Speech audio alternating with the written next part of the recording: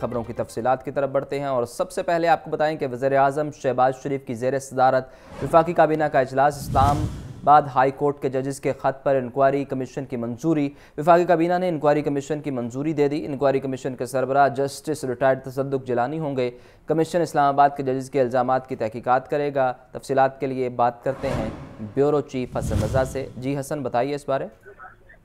बिल्कुल, वफाकी काबीना का इजलास वज़ीर अजम मियाँ मोहम्मद शबाज शरीफ की सरबराही में मॉडल टाउन में हुआ जिसमें छह जजिस के हवाले लिखा गया था, उसका जायजा लिया गया और उसके हवाले से कमीशन बनाने के हवाले से बाकायदा मंजूरी दे दी गई है। और ये कमीशन के जो है सरबराज सबक chief justice of Pakistan justice retired Tasadduq Hussain Jilani जो है, वो होंगे और इस्लामाबाद हाई कोर्ट के जजिस के इल्ज़ाम की सबक जज तसदुक जिलानी एक रुकनी कमीशन के सरबराह मुकर किए गए हैं। और इस हवाले से बाकायदा जो है तसदुक हुसैन जिलानी साहब ने तस्दीक भी की है और उन्होंने बताया कि वो कोशिश करेंगे कि शफाफ और मेरिट की बुनियाद पर जो है, वो सारे जो है, वो मामले की तहकीकत कर सकें। जो है, आज के इजलास के हवाले से जरा का ये कहना है कि आज के काबीना इजलास में अटॉर्नी जनरल को खसूसी तौर पर मदू किया गया था और उनसे इस मामले पर कानूनी राय भी ली गई, जबकि सबक चीफ जस्टिस सदुक हुसैन जिलानी से भी बाबा तौर पर रबता किया गया और कानूनी टीम को भी ये बता दिया गया कि काबीना ने सबक चीफ जस्टिस के नाम पर इतफाक किया है और काबीना ने उन्हें मुकम्मल मैंडेट दिया है कि तहकीकत में उन्हें जिस अदारे की मदद, दरकार हो वो ले सकते हैं।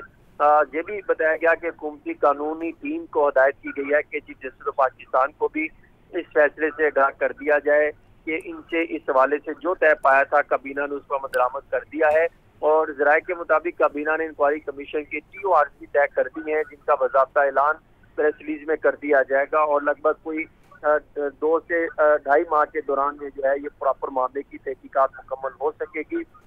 और इस्लामाबाद के हाई कोर्ट के छह जजेस ने सुप्रीम जुडिशियल काउंसिल को खत लिखकर मुतालबा किया था कि हम जस्टिस रिटायर्ड शौकत अज़ीज़ सदीकी की तहकीकत कराने के, के मौकफ की मुकम्मल हमायत करते हैं और अदलिया की आज़ादी में मुदाखलत हो रही थी। तो अदलिया की आज़ादी को अंडरमाइन करने वाले कौन थे? इस तरह के कुछ सवाल उठाए गए थे।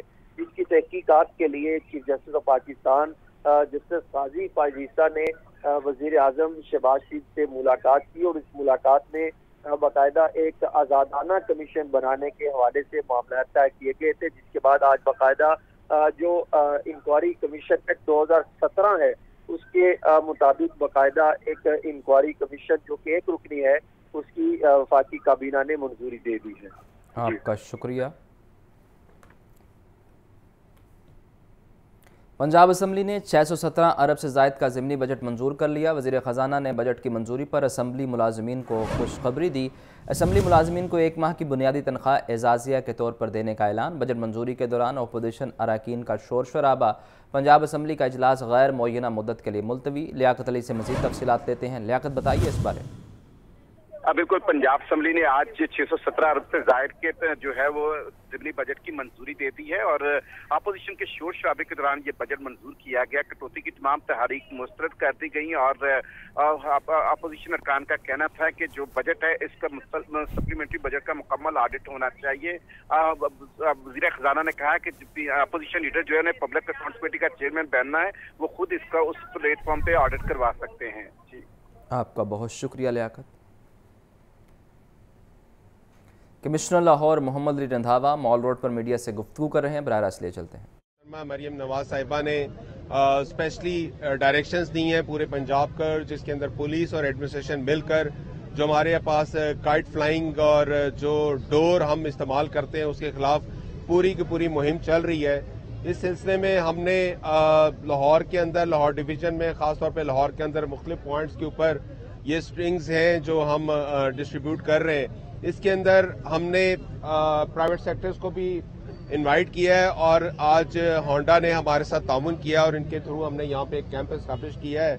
बेसिक मकसद ये है कि हमने जान सबसे ज़्यादा कीमती है और एक ऐसा है कि जो जो डोर इस्तेमाल हो रही थी काइट फ्लाइंग के अंदर, वो एक धाती उसकी तरह आती है और जब बाइक वाला खुदा न खासा जब उसको टच करती है तो उसे जान जा सकती है, जिसका एक वाक्य भी हुआ था फैसलाबाद में। उसके बाद चीफ मिनिस्टर साहिबा की डायरेक्शन पे पूरे पंजाब के अंदर और ख़ासतौर पर लाहौर के अंदर हमने ये काम शुरू किया हुआ है।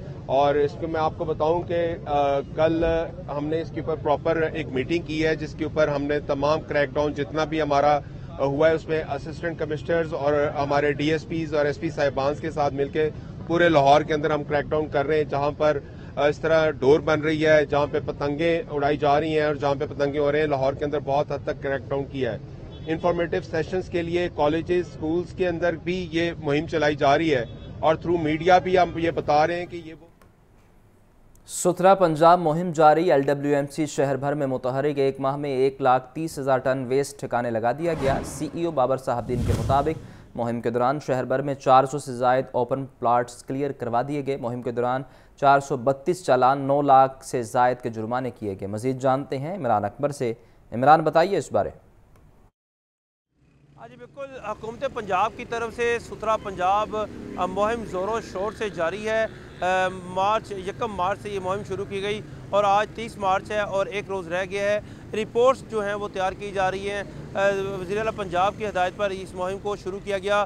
सुथरा पंजाब में सफ़ाई के साथ साथ street lights, banner, streamer manholes को कवर करना और इसके साथ साथ तमाम जो जो इस वक्त शहर की सफ़ाई का मामला था, उसको रखा गया और इसके साथ साथ जो है सुथरा पंजाब में तमाम जो अलाइड महकमे उनको मुतहरी किया गया और तमाम जो इस वक्त अलाइड महकमों के साथ साथ जो वज़ीर बल्दियात निशान रफ़ीक हैं, वो खुद खुद रोज़ाना की बुनियाद पर मीटिंग्स कर रहे हैं और इसके हवाले से रिपोर्ट जो है वो तैयार कर रहे हैं। जो इसका सीनियर वज़ीर हैं मरीम औरंगज़ेब, वो डे बाई डे इसको इसकी निगरानी कर रही हैं सुथरा पंजाब के बारे से। अब शहर की बात की जाए तो शहर लाहौर में सफ़ाई कंपनी तो ये दावा कर रही है कि एक लाख तीस हज़ार टन कूड़ा जो है वो उठाकर डंप कर दिया गया है। जबकि अगर देखा गया है, हमने आज के दिन में ये देखा है कि सदर और इसके जो मलिका इलाके हैं, कंटोनमेंट के इलाके, यहाँ पे जो टी सी पीज़ हैं, जो आर्जी कलेक्शन पॉइंट्स हैं, वहाँ पर जो है वो कूड़ा नज़र आया है, दिखाई दिया है और यहाँ पर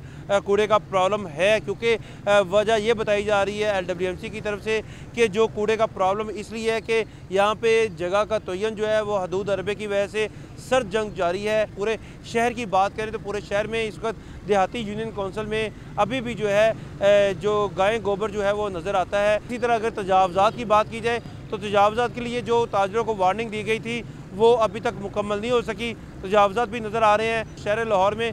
अभी तक जो कारकर्दगी है, उसको मुतमिन तो महकमे तो कह सकते हैं, मगर शहरी जो हैं, इसको मुतमिन नज़र से नहीं देखते।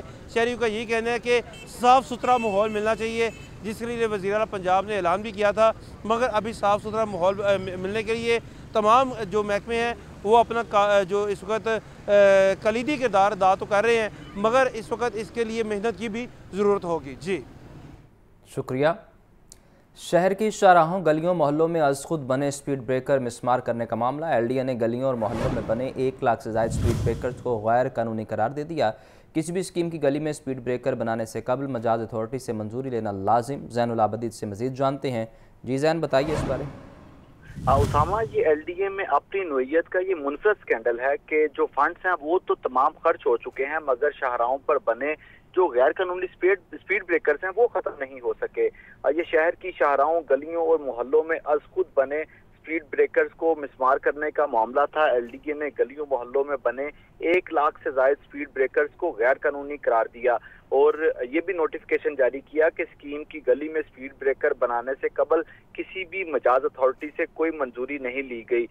तो इसी तनाजुर में एलडीए ने इन स्पीड ब्रेकर्स को मिसमार करने के लिए ट्रैफ़िक रवानी को बेहतर बनाने के लिए जो थर्ड पार्टी है और जो प्राइवेट अफराद हैं, उनकी खिदमात भी हासिल की गई। जराए की जानब से ये बताया गया है कि स्पीड ब्रेकर्स को तोड़ने के लिए अब तक 25 लाख ग्यारह हज़ार रुपए सरकारी खजाने से अदा किए जा चुके हैं, लेकिन कसी रकम खर्च करने और प्राइवेट अफराद की मदद लेने के बावजूद ये स्पीड ब्रेकर ताहाल अभी तक इन्हीं शाहराहों और गलियों में मौजूद हैं।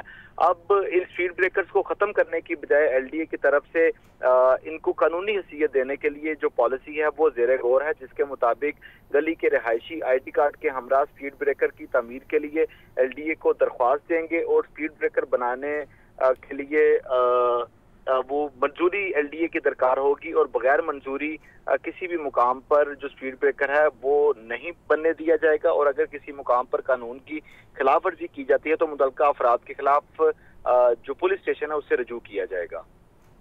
आपका शुक्रिया, जैन।